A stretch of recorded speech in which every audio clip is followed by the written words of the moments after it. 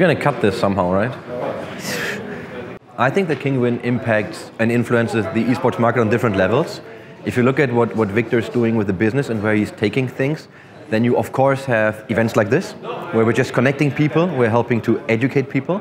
So that's definitely an influence on people that might want to learn about it.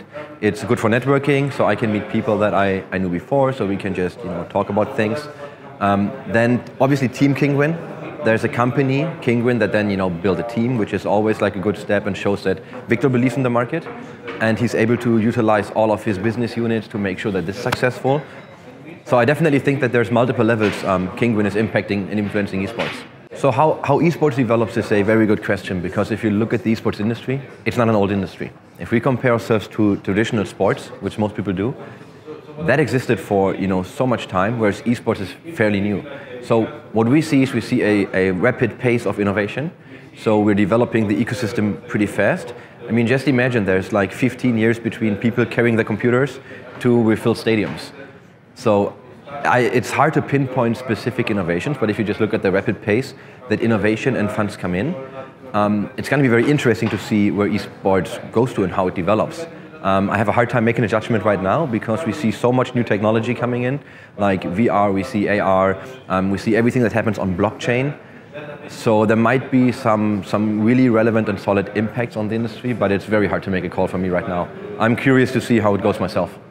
So I mean, look at, look at Quake. Quake was released, I think, in 96. And if we look at Counter-Strike, um, the game that basically was released in 2000s, right? We have 2018 now, so there's an 18-year span for Counter-Strike. But if you look at the game, it went through multiple iterations. You know, from, from CS 1.0, from all the betas, up to 1.6, up to CSGO, up to, you know, everything that kind of happened with the game. So if you look at these games, you know, it's hard to tell how long they're going to exist.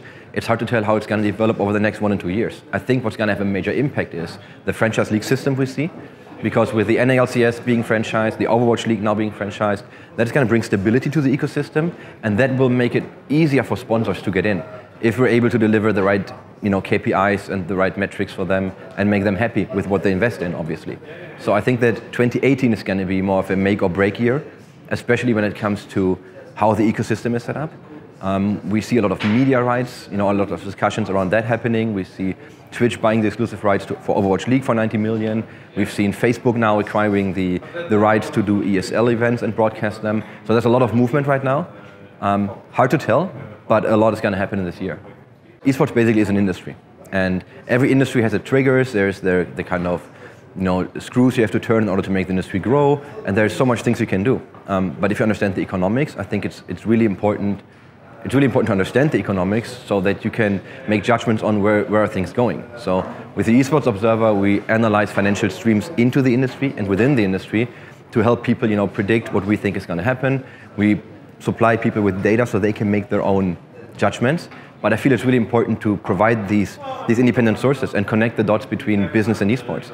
Because you know, if we want to grow the ecosystem, we need to make sure that people who put in money at one point, you know, need to get their return.